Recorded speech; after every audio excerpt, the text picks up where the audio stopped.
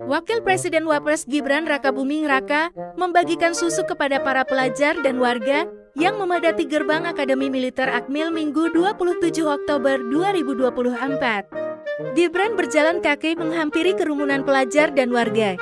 Ia tampak mengenakan kemeja putih lengan panjang.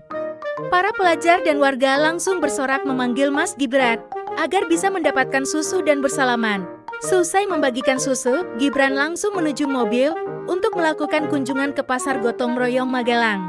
Diketahui jajaran Kabinet Merah Putih pada Minggu 27 Oktober 2024 akan menyelesaikan retret dan hanya berkegiatan sarapan pagi dan foto bersama yang diperkirakan akan selesai pada 10 WIB. Nanti jajaran menteri akan keluar melalui gerbang Akmil.